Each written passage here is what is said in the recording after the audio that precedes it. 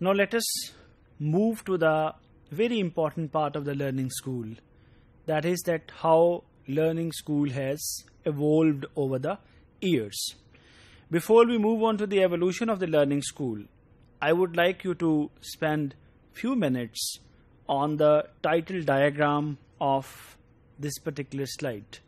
You can see that on the slide there is an arrow which is not smooth, which is with one and two curves. And also there are four things written. Experiment, fail, learn, repeat. Actually this title diagram represents the learning process we have in our life. And believe you me that the learning process in the organizations is not different in any way. The organizations also move under the hit and trial method. They experiment something, they fail or succeed, they learn, they repeat, or they correct themselves. And this is what the essence of life. And this is something which is evidence based.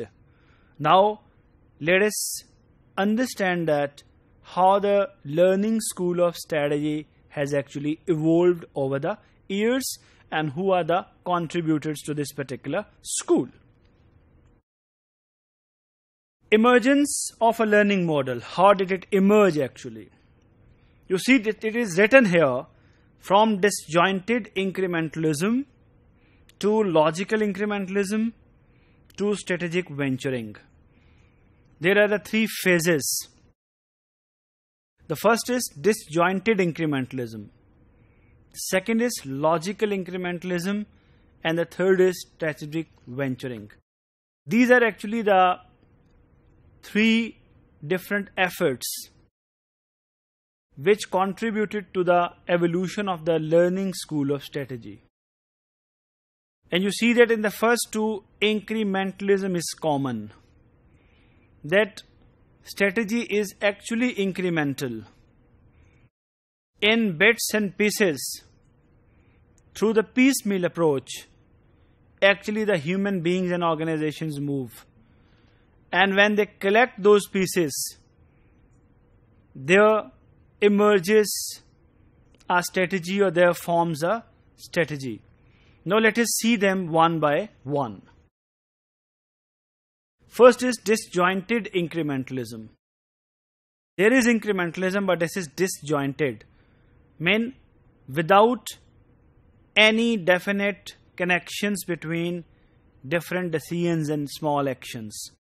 This was actually contributed by Charles Lindblom in 1960s. He was a gentleman who observed that in organizations or the pattern of organizational behavior is incremental but disjointed. According to him, disjointed incrementalism is a pattern of decision making in organizations in which decisions are taken step by step as a problem unfolds. You need to focus on a very, very important thing. In his opinion, that organizations take decisions in steps, and those decisions are taken not primarily to grab some opportunity but to deal with a problem. So, actually, human beings and organizations are problem centered as they and you know that before starting a journey you cannot forecast you cannot predict the problems. The problems only come before you when you actually travel on a path.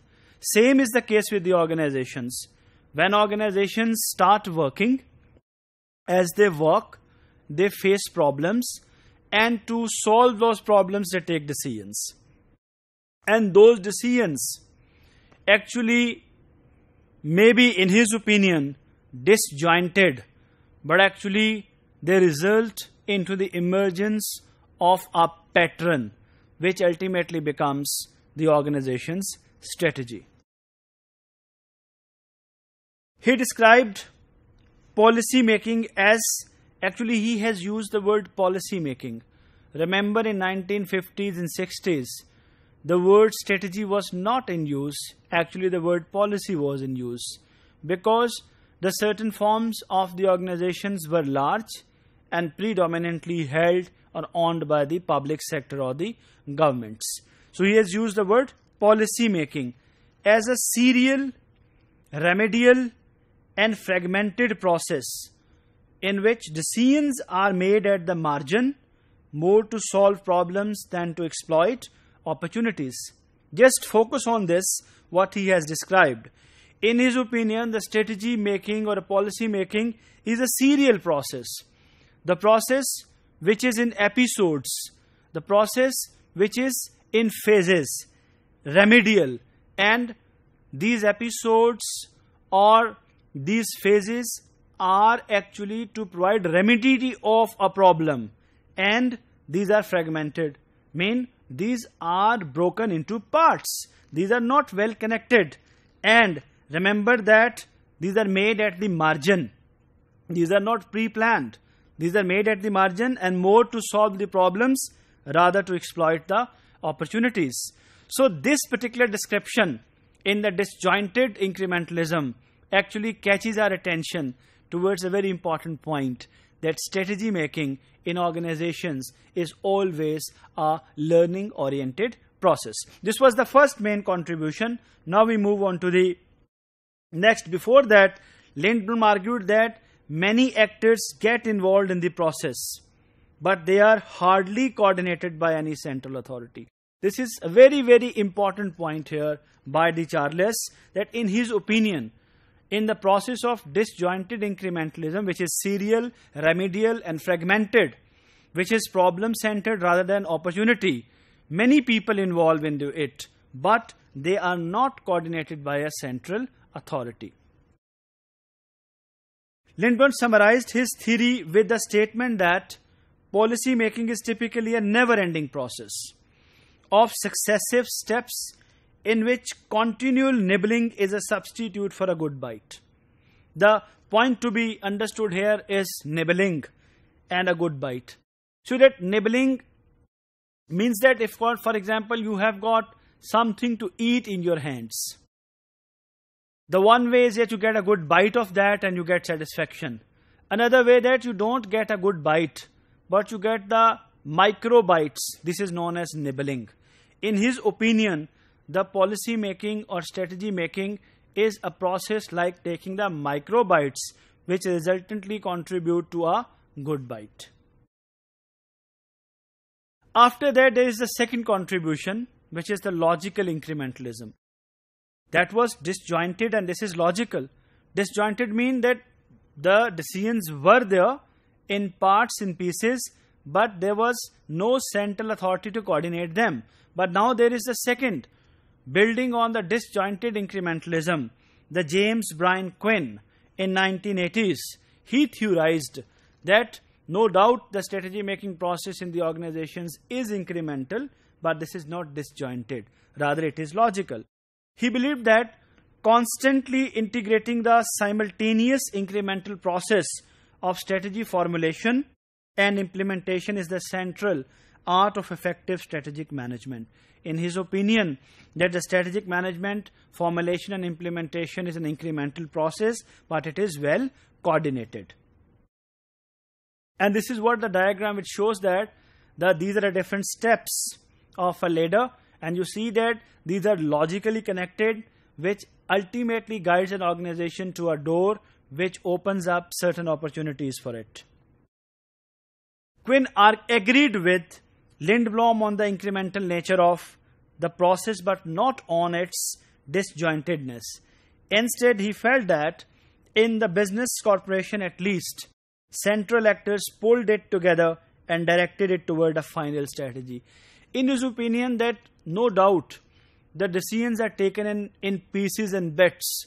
Decisions are taken step in steps in serial but there is always one central authority in the organization which creates a coordination between all these fragmented decisions, all these serial decisions, all these remedial decisions. So he believed, he put forward logical incrementalism instead of disjointed incrementalism. According to Quinn, the real strategy tends to evolve as internal decisions, and this is very, very important. Pay attention to it. According to Quinn, the real strategy tends to evolve as internal decisions and external events flow together to create a new, widely shared consensus for action among key members of the top management team.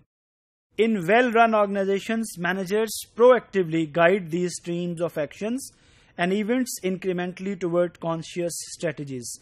Remember that he has emphasized on two things internal decisions and external events. Two external events happen, internal decisions are taken, and these are taken step by step under the coordinated approach, and resultantly, there emerges a strategy based on the learning of the organization. Quinn actually argued that that strategic management is done on the run. He believed that it is not that that you have a strategy in the mind before you start working. Rather as you run on the path you develop the strategies and you achieve something in the organizations. Third thing is strategic venturing.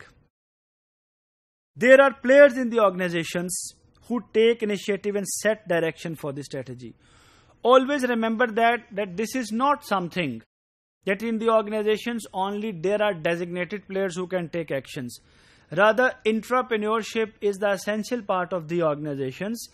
And in organizations, there could be anyone at any level of the organization who could have a good idea and he could get some resources for the idea and he can take the venture. These can be the strategic ventures in the organization, and these strategic ventures can direct the organization strategy into a new direction. So, strategic ventures are also important as the learning process.